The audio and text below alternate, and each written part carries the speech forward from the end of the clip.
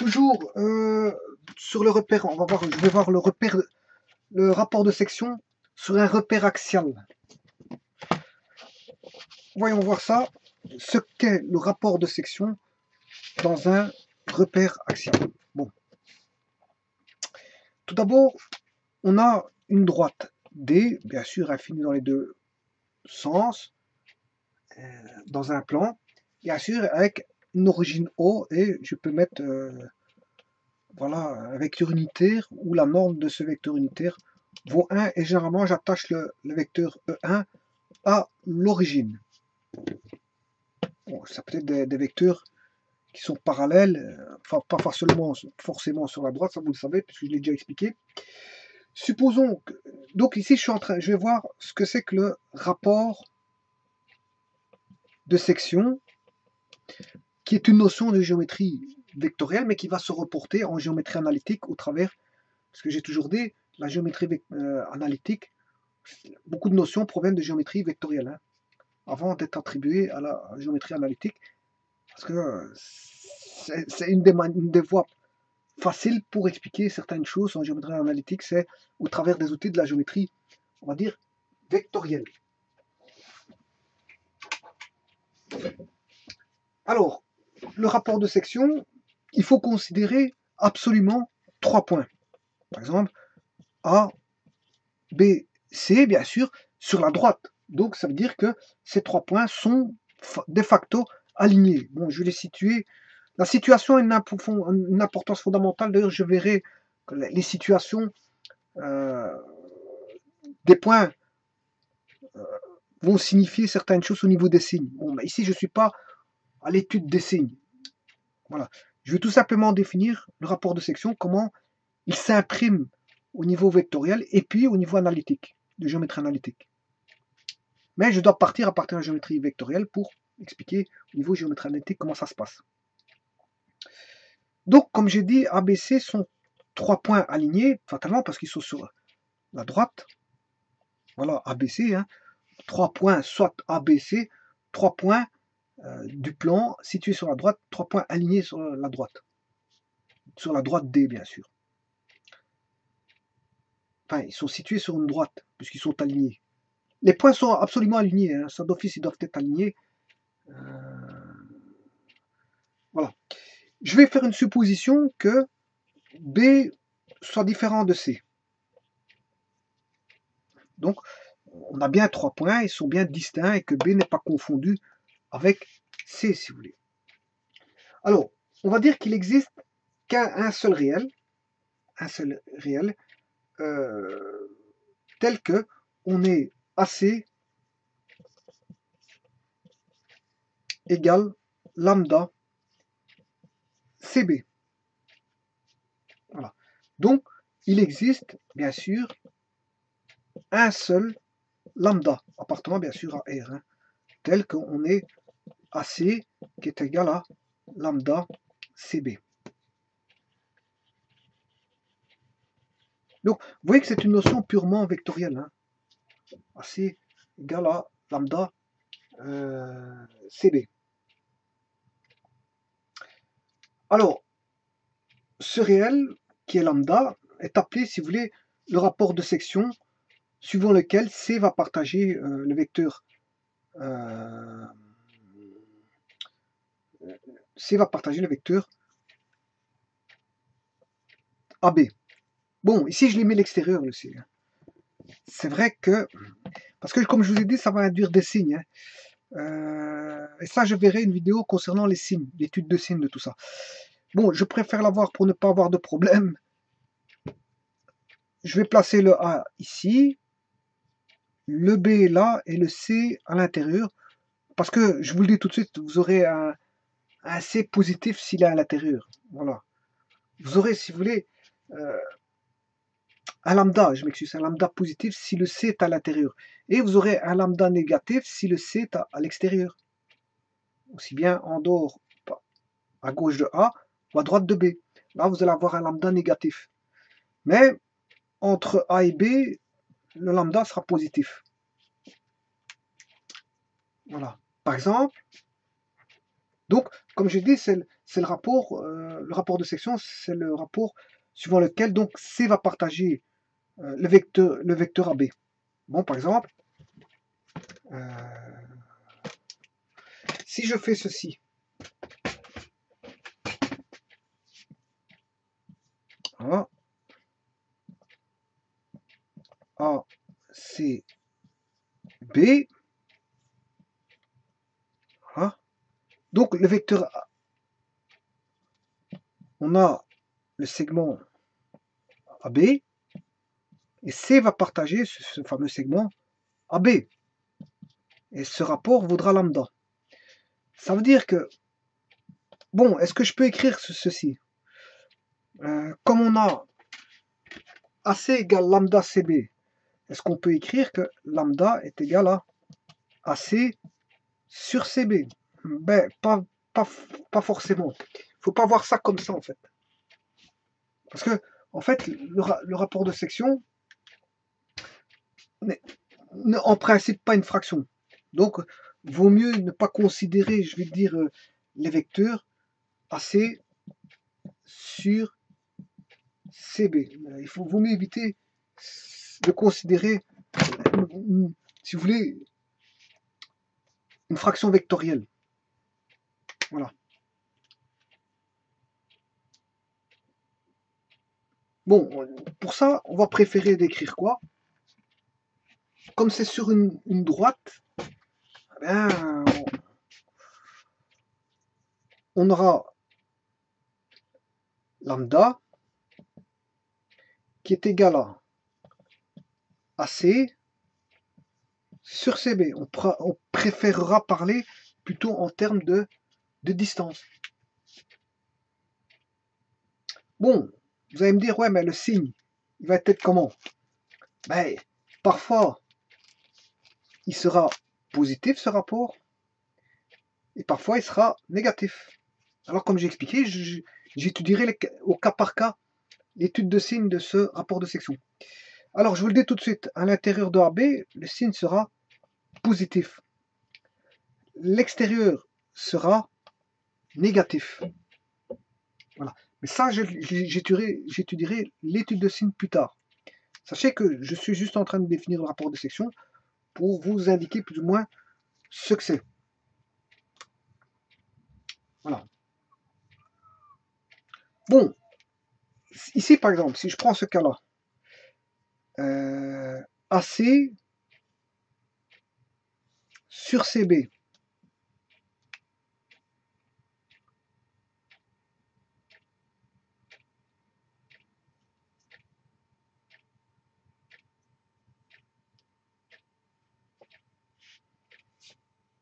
AC, sur, je m'excuse, AC sur CB, AC sur CB. J'ai pris un segment et j'ai départagé C en la moitié du segment. Donc, le rapport lambda vaudra 1.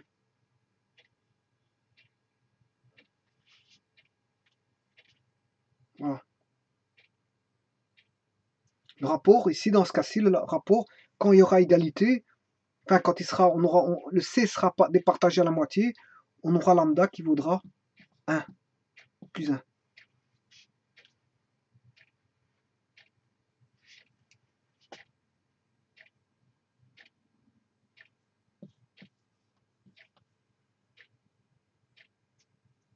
Maintenant, je prends un autre cas de figure. Si je prends par exemple, euh, ici j'ai, je vais mettre mon segment comme ceci, AB. Alors je vais le départager en trois parties et égales. Voilà. Et je vais mettre le C ici.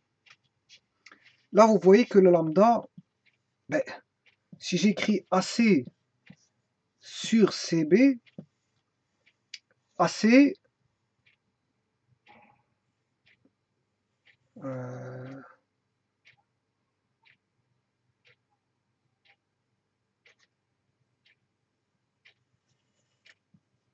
Là, on aurait, là, on a une partie égale qui est, la partie ici,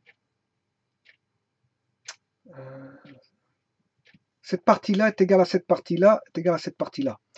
Donc ici, on a un tiers, deux tiers, trois tiers. Donc ça veut dire qu'on a trois parties égales. De A à C, j'ai deux parties. Et CB n'en constitue qu'une partie sur... Voilà. Là, on a deux parties sur trois. Là, on a une partie sur trois. Bon. Ce qui veut dire que AC vaut deux tiers. De, euh, deux tiers de AB. Et que CB vaut un tiers de AB. Bon, je me ramène à la même distance, ce qui fait que le rapport de section vaut 2. Donc, ici, on a un rapport de section de 2.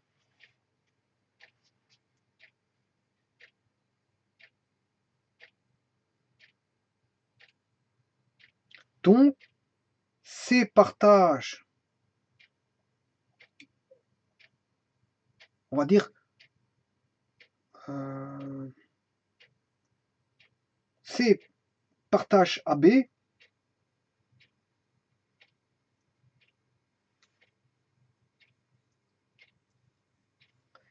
C partage AB dans un rapport euh, entre AC et CB qui vaut 2. Ouais, quand je dis CB ici ou BC, c'est le même. Hein. Si je dis CB, parce que la distance CB et distance BC, c'est le même. Voilà, on a un rapport qui vaut 2. La distance, le rapport de AC sur CB, voilà, il vaut 2. Donc vous commencez à comprendre que les rapports que je vais avoir ici, à l'intérieur, si AC est là,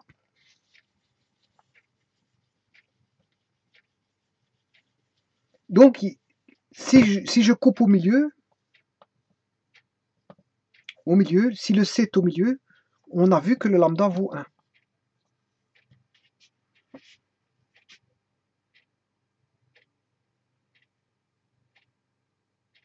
Voilà. Bon, maintenant, si je me rapproche de B,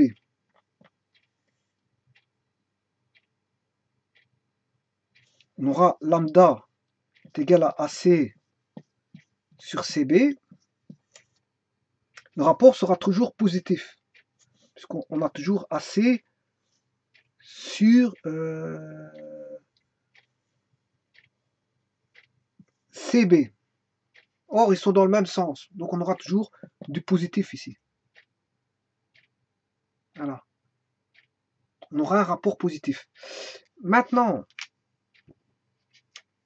ah, le rapport est positif, si C est à l'intérieur d'AB, si vous voulez. Donc, lambda va appartenir à... Ça, je ferai l'étude plus tard, je dirai à quoi il appartiendra.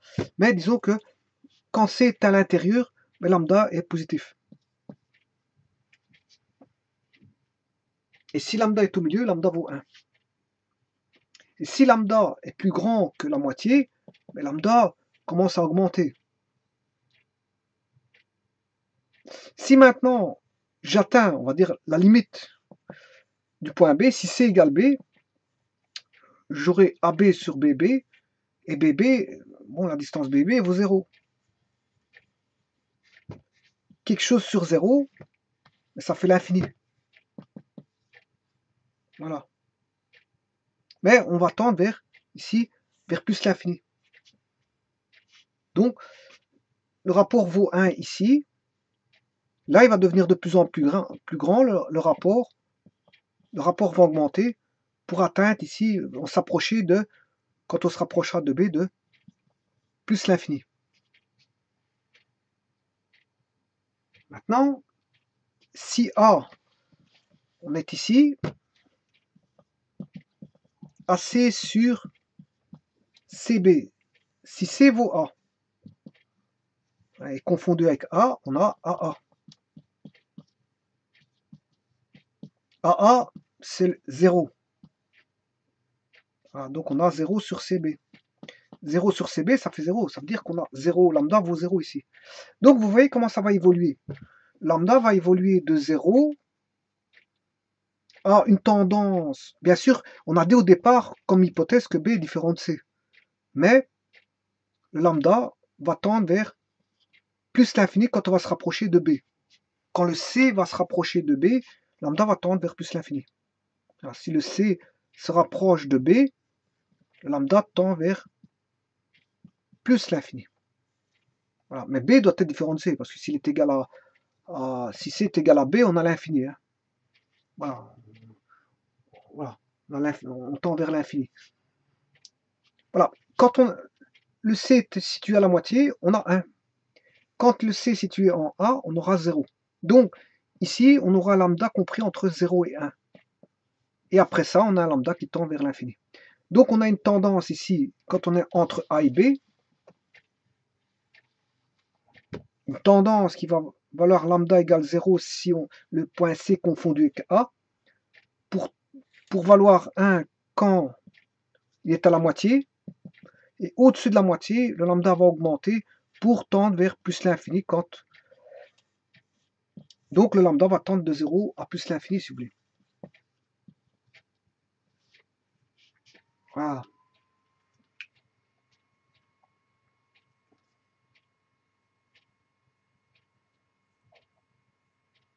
Bon, je n'ai fait que l'étude que quand on est à l'intérieur. Je ferai l'étude plus tard quand on est à l'extérieur. Mais sachez que quand le point C est à l'extérieur, je vous prie de me croire qu'on vous aurez des lambda négatifs. Voilà, mais je ferai une étude de cas plus tard. Parce qu'il faut faire des études de limite. Bon, voyons voir ceci. Maintenant, on va transposer ça à la géométrie analytique. J'ai le point 0, j'ai mon vecteur de base, et j'ai mon point A, mon point C à l'intérieur, bien sûr, et mon point B.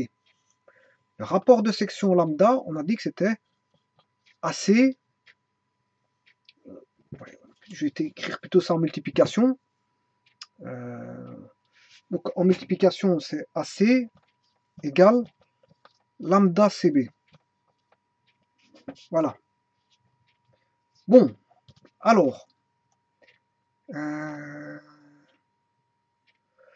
supposons que je connaisse l'abscisse de, de C. Non, je connais, si je connais l'abscisse de A, CB, si l'abscisse de A, c'est X1, euh,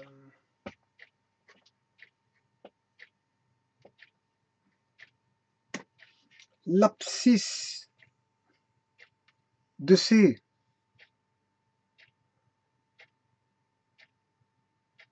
X, je l'appelle XC celui-ci. Et l'abscisse de B X2. Voilà. Bon, on a vu les distances. Distance pour AC. AC, on va écrire quoi? Que c'est XC moins X1. Bien sûr, fois E1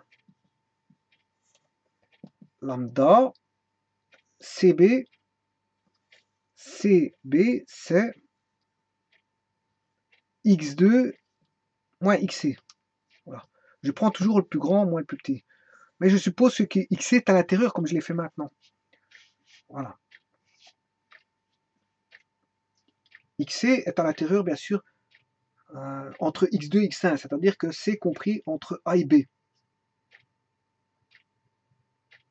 Voilà, et ça, bien sûr, fois E1. Et si je prends tout en norme, en norme de tout ceci, xc moins x1 est égal à, je prends la, norme ici, doit être égal à la norme ici. Or, la norme de E1, c'est 1, la norme de lambda, c'est lambda, et la norme de x2 moins xc, il est positif, c'est x2 moins xc. Voilà. Et lambda étant positif, parce que, pourquoi il est positif? Parce que je suis compris entre 0 et plus l'infini, je vous l'avais dit tout à l'heure. Donc lambda est positif. Donc là, ça vaut la norme de lambda fois la norme de x2 moins xc fois la norme de E1. Et ça, c'est égal à la norme de xc moins x1 fois la norme de E1. Or, la norme de E1, je vous l'ai toujours dit, ça fait 1. Ça, j'ai juste fait la, la norme d'un produit, c'est le produit des normes. Donc ça, ça va tomber. Celui-là, il va tomber. La norme de lambda, ça qui fait lambda parce qu'il est positif, il hein, n'y a pas de problème. Et xc moins x1 est positif parce que xc, euh, x, xc moins x1, xc est plus grand qu'x1 parce que c est à l'intérieur de l'intervalle AB, xc moins x1. Donc il n'y a pas de problème de signe, donc euh, il n'y a pas de signe moins qui intervient. Donc c'est xc moins x1, lambda x2 moins xc. Voilà. Alors, ceci étant dit, je vais rechercher xc.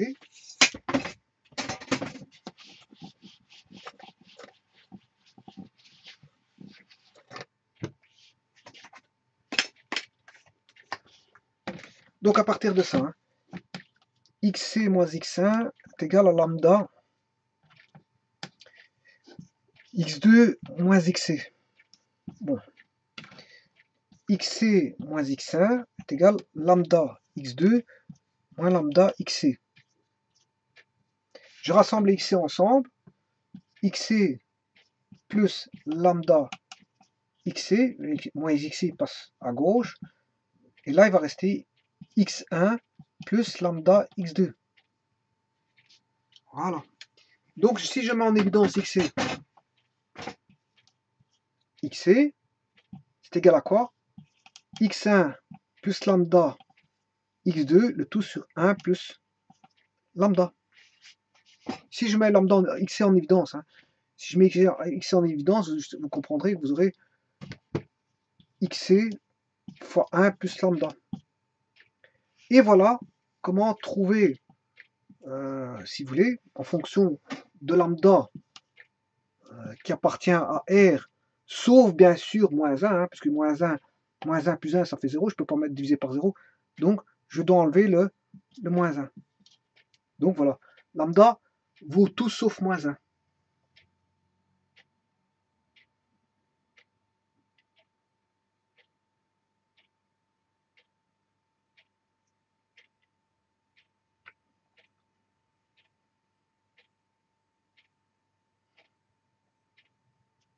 Ah. Alors maintenant, euh, maintenant, je peux l'exprimer en fonction de lambda. Hein.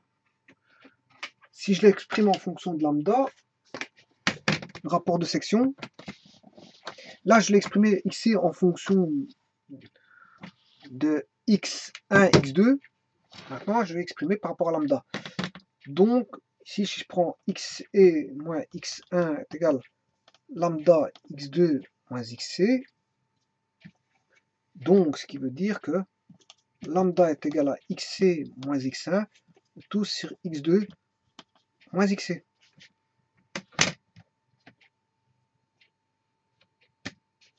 Voilà. Voilà que vaut le lambda. Bon, ceci étant dit, ça c'est en fonction du lambda. Et bien sûr, et c'est là qu'on peut voir que x2 doit être différent de xc. Parce que si j'ai x2 moins xt qui sont égales, j'ai quelque chose sur l'infini. Lambda vaut une tendance infinie. Lambda a une tendance infinie.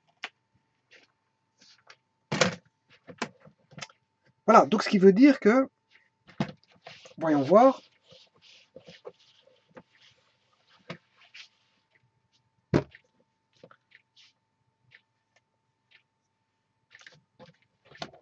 Voilà, c'est juste ça. Cette vidéo-ci ne montre que, devrait que montrer que ceci, que XC, euh, rapport de section, par rapport à deux deux, points A, B, bien sûr C étant aligné, ben, l'abscisse de C vaudra l'abscisse de A, plus lambda fois l'abscisse de B, le tout sur 1 plus lambda. Et si vous voulez exprimer par rapport à lambda, eh bien ça vaudra xc moins,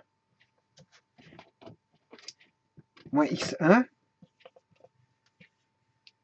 sur x2 moins xc. Bien sûr, ici, j'ai dit que lambda appartenant à R sauf moins 1. Et qu'ici, x2 différent de xc, c'est-à-dire que c est différent de b. Le point, le point C ne peut pas se retrouver en B. Le C, point C ne peut pas se retrouver en B. Voilà. Ce que j'avais dit au départ.